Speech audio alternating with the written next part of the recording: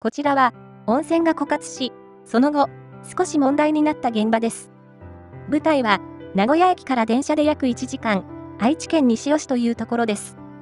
小さな温泉街があるのですが、枯渇して、その後問題になったところがあります。現場は、吉良温泉というところです。インターネット上ではこう書いてありました。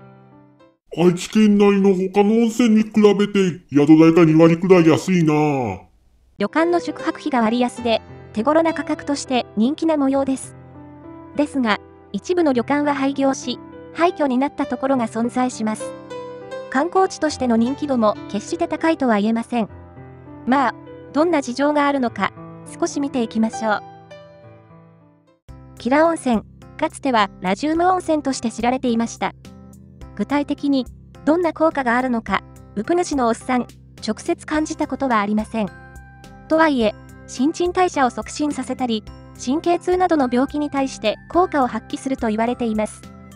ですが、今から30年前、温泉たちはこう述べました。あれ？なんか温泉が出てこなくなったぞ。これまで組み上げてきた温泉が出てこなくなってしまいました。完全に枯渇したわけではないですが、これまで使ってきた井戸からお湯が出なくなったのです。ですが、お湯がなければ温泉は成り立ちません。旅館もオープンすることができなくなってしまいます。故に、温泉たちはこのように言いました。仕方がない。井戸水とか水道水沸かすか。冷たい水を温めてお風呂にすることとしました。ですが、温泉を名乗るには基準があります。温泉法という法律がありますが、この法律はこう述べました。地中から出てくる時の温度が25度以上じゃないと名乗っちゃダメですよ。地中から湧出する時の温度が25度以上でないと、原則として温泉を名乗れません。なんとかイオンが一定以上含まれている水であれば温泉を名乗れますが、普通の水では NG となっています。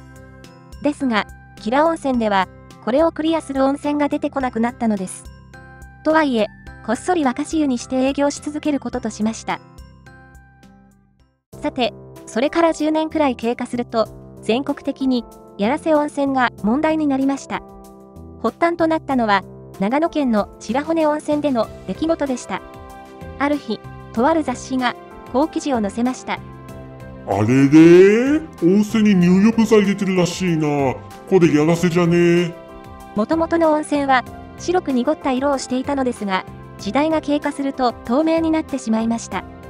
ですが、温泉のセールスポイントは、白く濁った色な部分でした。故に、温泉の運営主はこう言いました。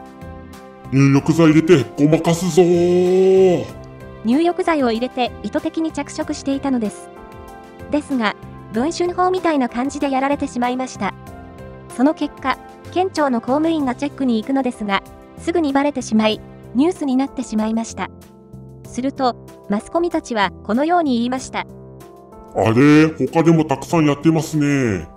全国的に、いくつもの箇所でやらせをしているのが、ドミノ倒しのごとくばれてしまいました。こうしてことが大きくなるのですが、さらに問題になる場面が出てきました。自治体の偉い人が経営する温泉でやっているケースが結構出てきたのです。しかも、自治体の偉い人たちはこう述べました。昔からやってるんだから別に問題なくねそんな発言が出てきたため、さらに炎上した感じです。そして、吉良温泉では、若し湯にしている点がバレてしまったのです。よって、世間の人たちはこう言いました。うーん、もう行かねえ。こうして、観光客が激減してしまい、存続の危機に陥りました。それでも、温泉たちは、新しい温泉の井戸を掘りました。よって、リアルな温泉に復活するわけですが、旅館が倒産するまでには至りませんでした。そんな中やってきたのが、例のウイルスでした。その結果、観光客が一気にゼロに近い状態になり、ついに一部がこう言いました。もう無理なので廃業します。廃業するところが登場し、現在の姿を見ますと、このように廃墟となっているところもある感じです。とはいえ、観光客が少ないところかというと、そうではありません。宮崎海水浴場というハワイのワイキキビーチの模倣みたいな風景が広がるところがあります。夏になると人々で賑わうみたいです。ただ、名古屋都市圏の立地となっています。故に、日帰りの人が多いこともあり、温泉旅館の集客には結びついていない模様です。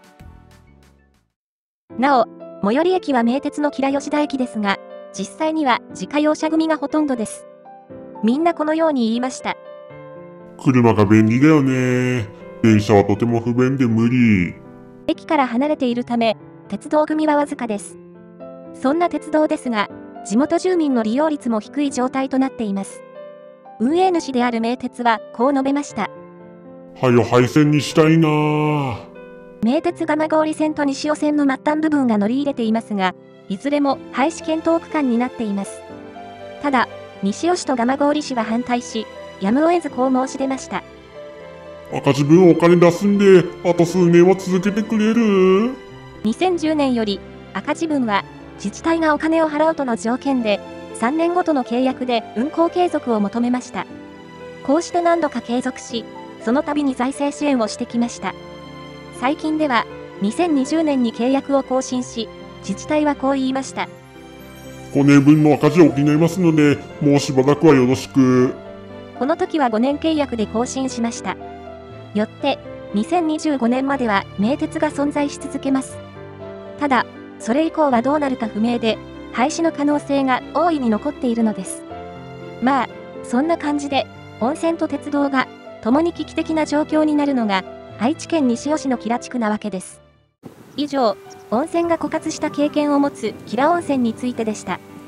なお、今回は、ちょっとまとまった資料が集まらなかったため、少し浅い部分がありますが、この辺は許してくださいね。